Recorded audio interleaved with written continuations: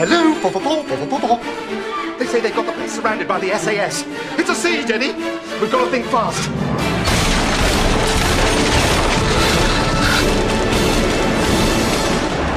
Well, that's us knackered then, isn't it?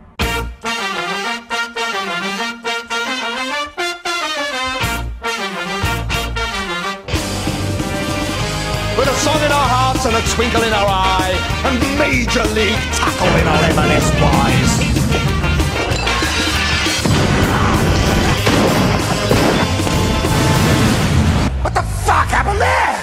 Thought you could take on us, did you? Thought you could take on the Hammersmith hard men? Well, shit in my grandmother's mouth.